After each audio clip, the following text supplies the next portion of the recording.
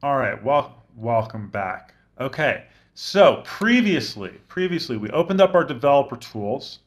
We did a console log for this data and we saw this error. Now, if I remove the comments and I go back and I click on generate image, we get undefined. Now we also notice something else happening. This get 404 not found slash after 3000 is constantly refreshing. This is a reminder to us, by the way, in case you're wondering what this is doing, if you notice this. This is a reminder to us that we don't have an index page. And Next.js is fairly biased. It wants an index page. If it doesn't have an index page, it's going to be looking for it. And it's going to say, where is it? Where is it? Where is it? So if we want to remove that error, which we should do because now that we're working on functionality, we have to rely on our debugging skills and we don't want to clutter we don't want to clutter with unnecessary bugs. So in our pages, I'm going to create a new file, and we're going to call it index. Remember that file we deleted, the index.tsx? We're going to bring it back. We're going to bring it back from scratch. So I'm going to say index.tsx.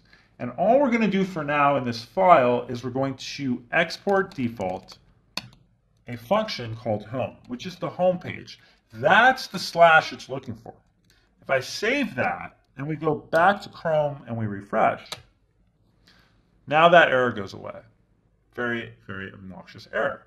And if I click on generate an image, we're going to see we have this undefined. We also have an error for refuse to set unsafe header. And that's just essentially a security error because we're sending an HTTP request. Because remember, we're using localhost HTTP. Uh, you can remove it if you want simply by removing the user agent header or setting up in the server so that the value considers it safe. Just to show you what that is. But now, more importantly, that we've gotten rid of that 404, I want to go back to this. This is the more important thing I want you to focus. This console log data. What is this data? Well, this data should be the data object from OpenAI when we click on the button generate image. It should be prompting us with data image for a response. But it's not working. Why isn't it working? Well, that's because when we when we use JavaScript with APIs, we're actually using, or even more clearly, when we try to access API calls with JavaScript, these are asynchronous, asynchronous requests, something that we call promises. Now, JavaScript has asynchronous features, but it is not inherently asynchronous. It's actually synchronous, meaning that the code, if I, meaning that the code on this page is running synchronously. And if something doesn't work properly, if this API key, for example, isn't grabbed in time before the next line of code goes, will JavaScript wait for that API key to come back and then generate it? Well, absolutely not. Absolutely not. It's not made to do that, right? It's not C. This is JavaScript. We're not spawning multiple threads willy-nilly here. We have one thread, and that thread is running synchronously right now. Of course, there's ways around that. So how can we make it asynchronous? Well, remember, the API key is coming from somewhere else. So we have to send a request and then wait for a response. That request goes to OpenAI, right? Now, if that request takes a longer amount of time, we want to make sure that no matter, we want to make sure that JavaScript waits before it continues to run to grab this data. This data is the create image data because OpenAI is going to then take that, uh, is then going to process, right? It's incredibly fast and it's incredibly powerful, but it's not so incredibly fast that it's going to go faster than the incredible speed of JavaScript because JavaScript is also incredibly fast. That's why we use it to build applications right? So, all of that being said, in order to facilitate this asynchronous activity, there is a pattern we can use in JavaScript called async, async await. Now, async await is a pattern that's a statement. So this function, generate image, is an asynchronous function because it's accessing the AI, right, with an API. So the first thing we want to do is right after our equal sign, we want to type in async, and that's going to enable asynchronous activity into this function. So this is the first part of the pattern. The second part of the async await pattern is the await keyword. Now the await keyword can be used multiple times. and we can place it wherever we want JavaScript to wait. Right here is where we want JavaScript to wait. We want JavaScript to wait until this prompt is created. We want it to wait until OpenAI creates, you know, creates the image. And then, once it's created the image, once we've authenticated the API key, once we've retrieved that, once, once all that is ready, then we get the data. Because if we don't wait for it, then that data is going to be what? Well, it's going to be undefined. All of that is to say that after constant response or result, or whatever you want to call it, probably more succinct to call it a result, that result should be awaited. So we use the await keyword. So async await. Now, I could have just wrote async await and told you quickly, oh, by the way, it's async await because we got to wait for the response and that's how it works. I gave you a thorough explanation of how JavaScript works fundamentally. And if you can provide that explanation in a job interview when you do an API call, well, hats off to you. That's some serious brownie points. All right, so see, so hopefully that can sink in. Let's go ahead and save this. And let's go back to our browser and refresh. And now let's click on generate image and see what happens. All right, now I had to wait two or three seconds. I had to async await. Underneath this error, take a look at that. What's that? That is an object, my friend. This object holds data, so we can open it. When I open this, we see the number that was created, and then we see the data.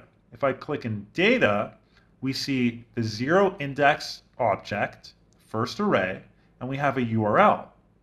But now that we have asynchronous calls and we're fetching data properly and waiting for that data, we now have the power. We now have the power to grab the, the response. So let's save that for the next lesson.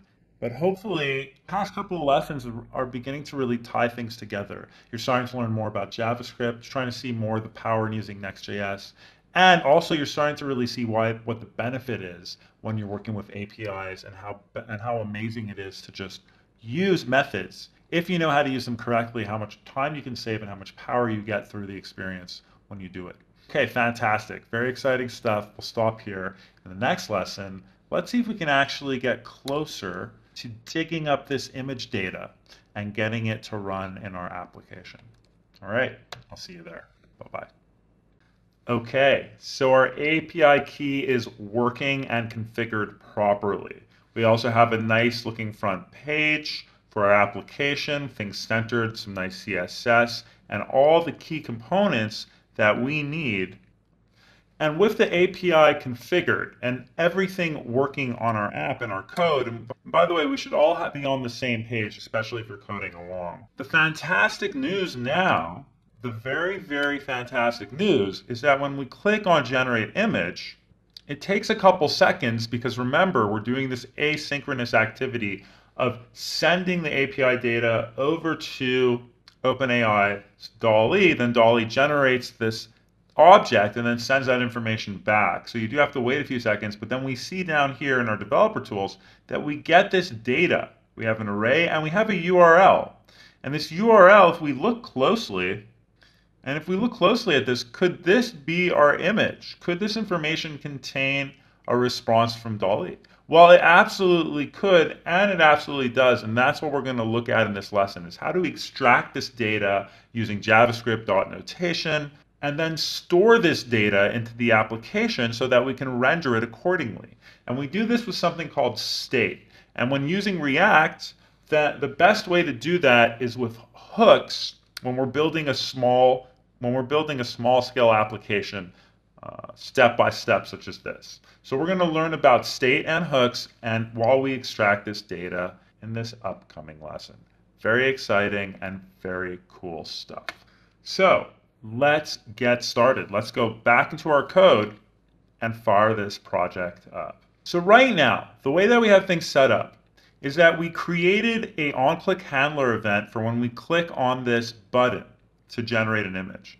And we have a function here that's asynchronous, and what it does, if you recall, is that it leverages the OpenAI, which is now hooked up to the API key, which we get with our public runtime configuration, to run this method, create image, which then takes some object properties. And these are the things that we can play with. So right now, we have a prompt that's hard-coded to a white Siamese cat.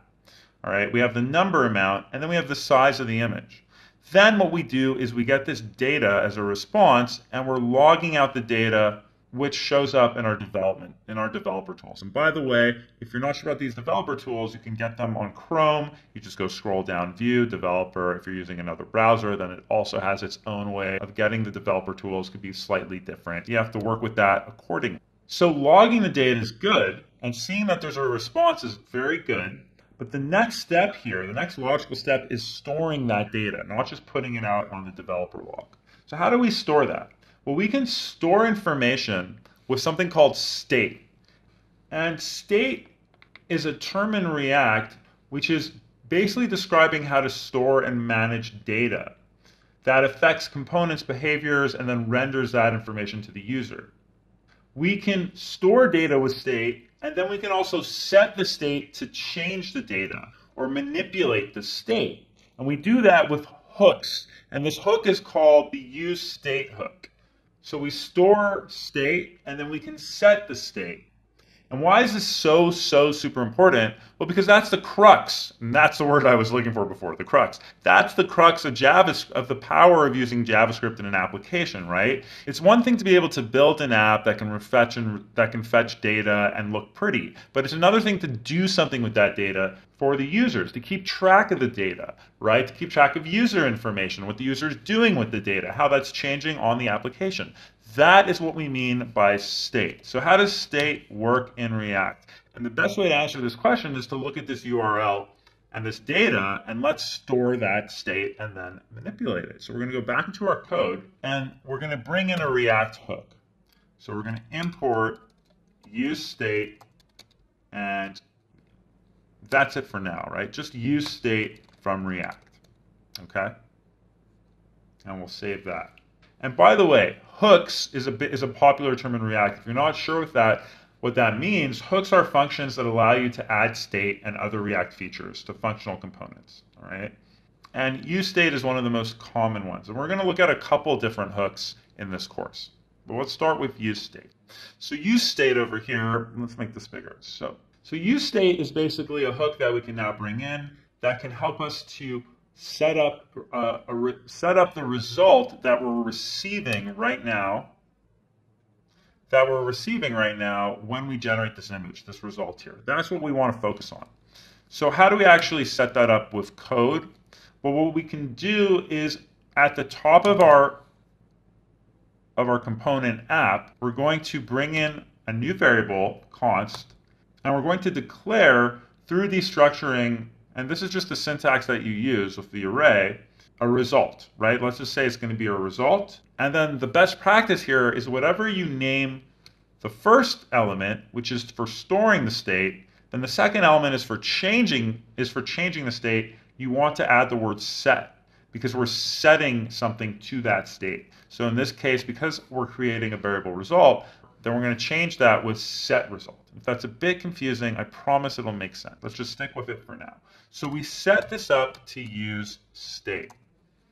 And if this looks confusing, this is array destructuring. So we're extracting the data from an array. Re use state essentially returns an array with two elements, right? Result and set result. And we want to grab both of those elements. So this is just the syntax. And if it looks a little confusing now, it's actually quite uh, intuitive once you do it a few times and nice to look at. I promise. You just have to get used to it. So we're going to say use state, and this is our func this is our hook. So we bring in our parentheses, and we can initialize result with use state with whatever we put inside of here. What do I mean by that? Well, what is result? Well, we want result to be this, right? We want it to be the URL, essentially, of an image. So for now, let's just use a placeholder so that when users come to our page, they won't see nothing, right? If I actually load up our app over here, they're going to see this. We want them to see a default placeholder so they understand that this is where the images are being generated, right? A little bit of user experience and UI. So where can we get a placeholder image to set up our initial state? Well, there's a few free places where you can do this. You can put up anything you want, really. Well, if you just Google free placeholder images, and we can do a person, and we go to images, one of the first ones that should pop up, actually, I think I saw it over here, but you can really use anything. But this one, for example, avatar icon placeholder, free vector graphic on Pixabay, all right? If I right click on this, what we can do is we could technically copy the image address, and we could do this for learning purposes. And we can go back to our code, and in our use state, we can initialize it to that endpoint, to that image. And then you could really initialize it to any image you want, right? Like I'm just showing you an example of what you could do, right?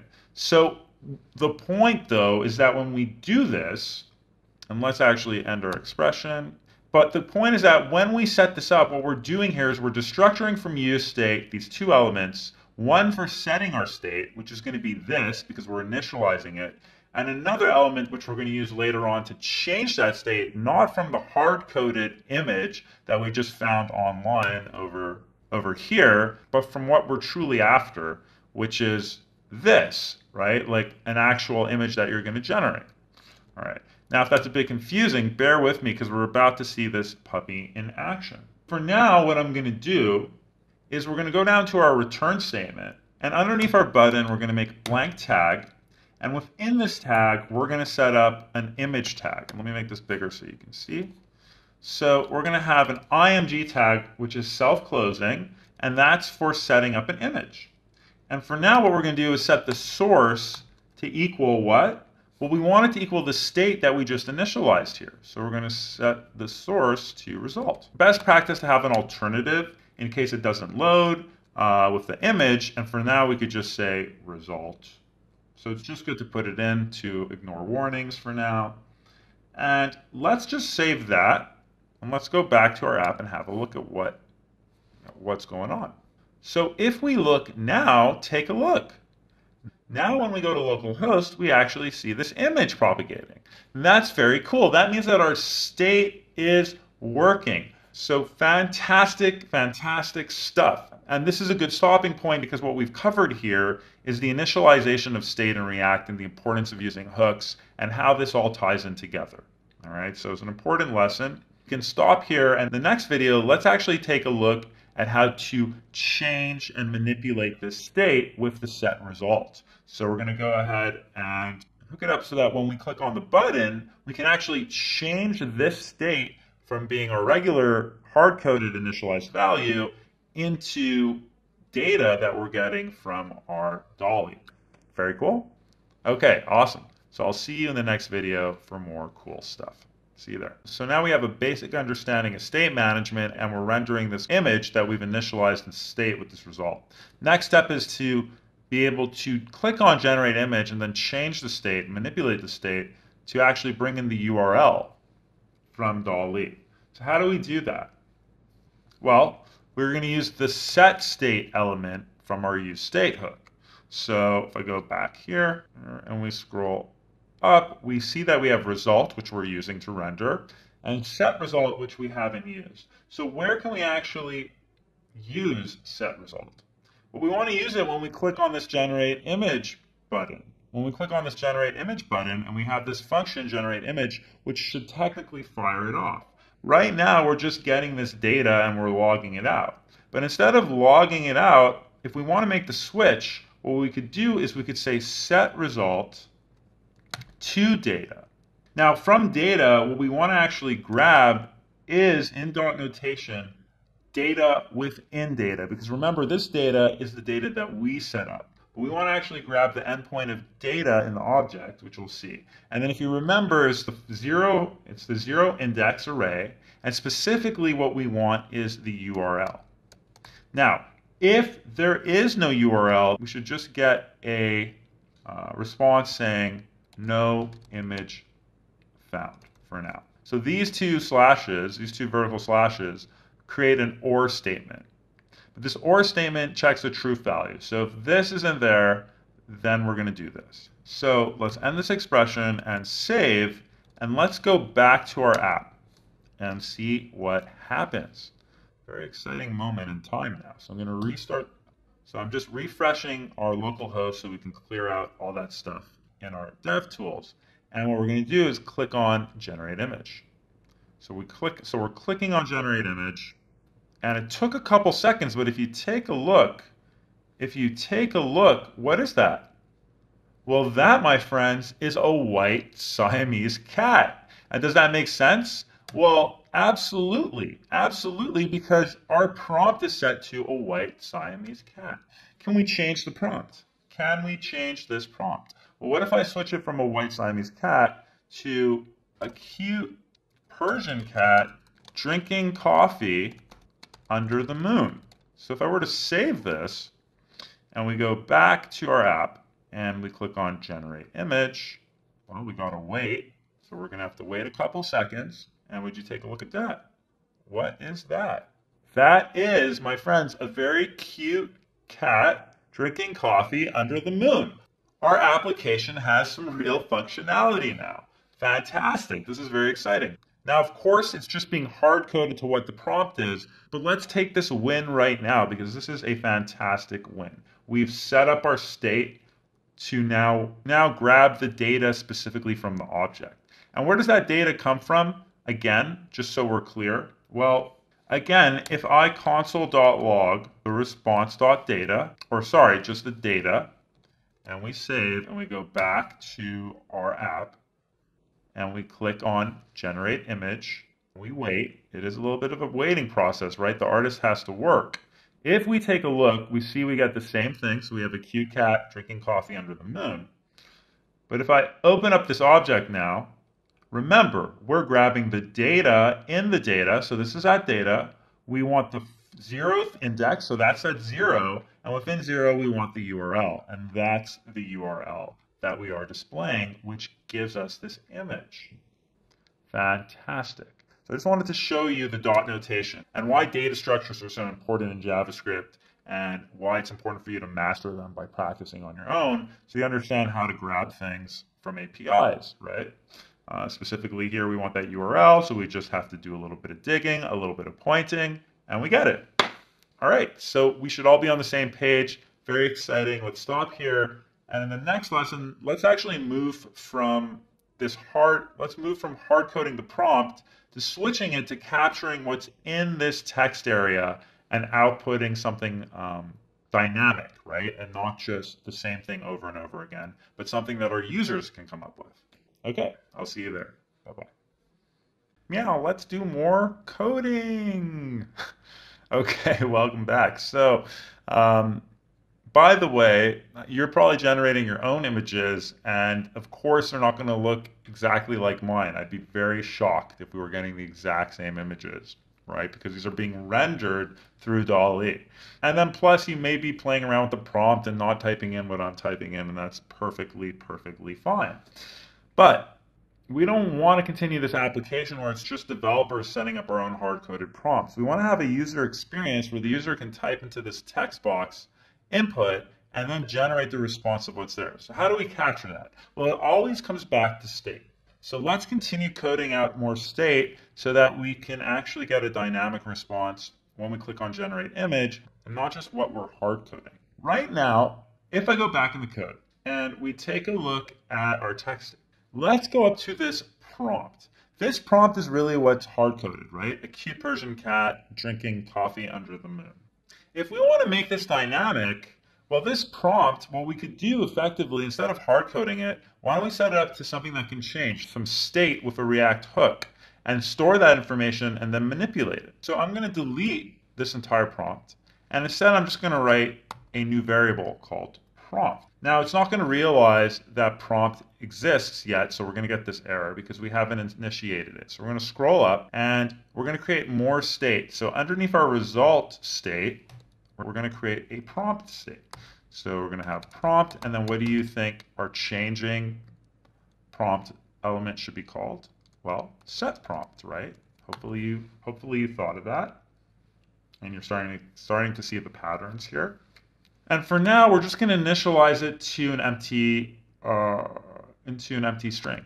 Use state and we're going to keep it as an empty string because if we don't keep it as an empty string and we write Persian cat, then we're just basically doing the exact same thing. And we're in a very biased format, right? It would be biased because we're, then we're also creating that first initialization. And we don't want to make it biased. I don't want it, we don't want it to be biased. So if we save this now, we shouldn't be running into any real errors, fresh. We're going to get back this placeholder, which makes sense. And if we were to click on generate image now, we're going to get an error because right now our prompt is set to nothing, right? Our prompt is set up. So the next question here then is, well, how do we actually change our prompt so that it doesn't, so that when we type in the text area over here, it'll update the prompt. Well, let's take a look at what's going on in this, in this text area. Right now in this text area, we have some styling and we have a placeholder. Well, just like in our button where we had this on click attribute, there's another attribute in text area similar, also an event handler, and that's an on change. And on change is just going to check to see when everything is changing and then do something depending how we set it up. So what we can do is we can type in on change and instead on. And what is it exactly that we want to have happen here with on change? Well, on change can be equal to a function like generate image. But in this case, the function is pretty standard and we don't want to have, and we're, uh, and we're not going to write so much code. So we can actually just create a callback function that's going to set off set prompt to what? Well, to the value of what we're typing. And how does that look? Well, an, anon well, an anonymous callback function won't have a name.